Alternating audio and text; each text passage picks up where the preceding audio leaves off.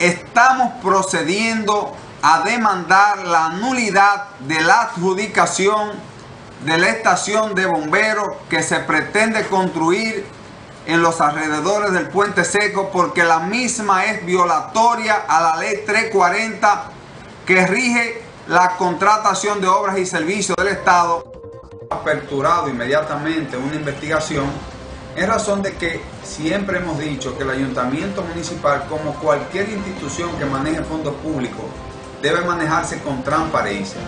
Verificando lo que establece la ley 340, el ayuntamiento está en la obligación de someter cualquier ejecución de una obra por cuatro modalidades. Primero, la comparación de precios.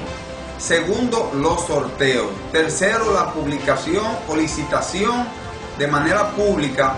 Y cuarto, la licitación cerrada, que es lo que prevé la ley. Hemos verificado que el ayuntamiento parece ser que ha optado por la comparación de precios con los mismos contratistas que siempre participan en ese tipo de actividad.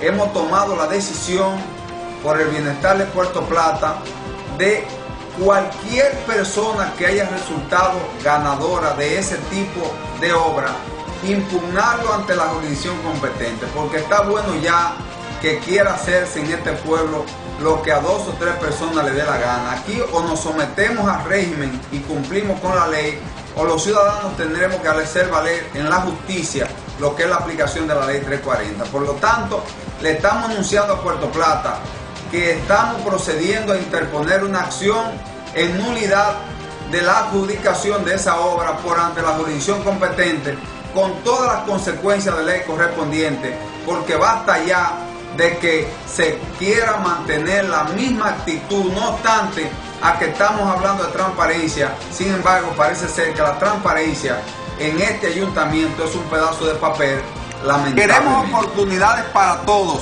no más exclusividad. Despierta Puerto Plata.